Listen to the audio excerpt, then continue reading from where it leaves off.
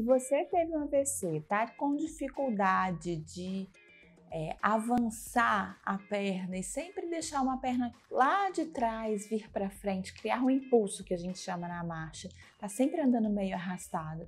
Fique aí que talvez essa dica pode te ajudar. Olá, você sabia que eu arrumei uma maneira de você conseguir falar comigo de forma exclusiva e com mais outras pessoas que tiveram AVC ou cuidadores pessoas que tiveram AVC ou parentes. Além do mais, você pode enviar vídeos para mim mostrando aí como que está o seu processo de recuperação, quais são as suas maiores dificuldades. Tudo isso através de uma comunidade, a comunidade falando de AVC para você. Então experimente a comunidade por 30 dias grátis, clicando nesse link aqui abaixo do vídeo do YouTube. E se você estiver no Instagram, lá no meu perfil, no link no perfil no Instagram. Não perca tempo, eu te encontro lá. Bom, é, não sei se você sabe, mas para a gente tirar o pé lá de trás na hora que a gente está andando, para começar a avançar, criar impulso para começar a avançar para dar o passo, a gente precisa fundamentalmente de um músculo que chama glúteo máximo, que é o músculo aqui de trás do bumbum. Não só ele, mas a ativação dele é importantíssima nessa hora.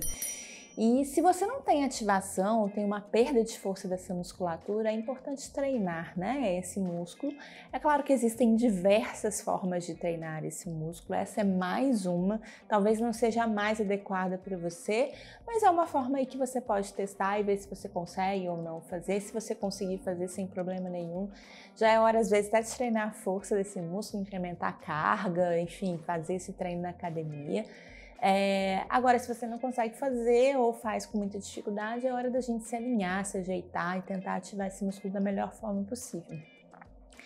Eu vou dar uma, uma, dica aqui, um tipo de exercício, tem vários outros, como eu falei, mas nesse exercício fundamental é que você mantenha o tronco bem alinhado, é que você consiga não jogar o tronco para frente o tempo inteiro e o bumbum muito para trás, e não incline também o tronco.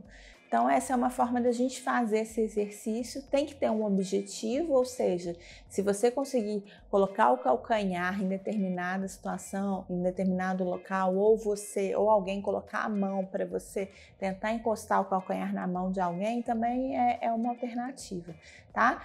Então, você vai precisar de um banquinho, tá?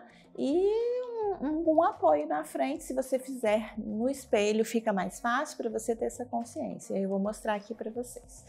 Então, ó, eu vou segurar nesse espaldar aqui na frente, vou subir em cima desse banquinho com o lado menos acometido, vamos imaginar que é esse, apoiado.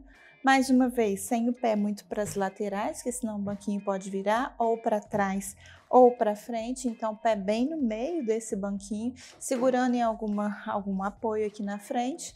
E aí você vai deixar o pé mais comprometido para trás, igual tá o meu aqui. Então, vou me ajeitar aqui, ó. E aí você vai fazer esse movimento aqui, ó. Um. Se tiver como encostar na mão de alguém ou em algum apoio traseiro, aqui por parte de trás, excelente. Perceba que esse joelho aqui mantém esticado. O apoio é todo aqui na direita. E você vai fazer esse movimento sem jogar o tronco lá para frente. É só a perna que mexe, o tronco não mexe. Só a coxa daqui para baixo que vai mexer. Joelho aqui de preferência esticado. Se você conseguir fazer esse movimento com o pé, ó, excelente.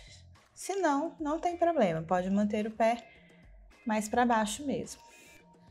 A princípio, cada caso vai ser um caso, então pode ser que 3 de 10 resolva para você ou não, mas teste aí o que você consegue fazer, tá? E aí vai, coloca aqui nos comentários se você quiser, se tiver alguma dúvida que a gente te responde aí nos comentários.